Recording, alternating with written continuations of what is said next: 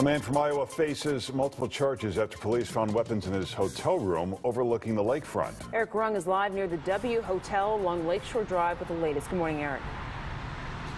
Good morning. Chicago police have not said what the 32 year old's plans may have been, but sources say it was a hotel employee that alerted police to the weapons. Keegan Casteel is facing two felony charges of aggravated unlawful use of a weapon along with a high-powered 308 caliber rifle and scope. Police also found a semi-automatic pistol and ammunition in his room at the W.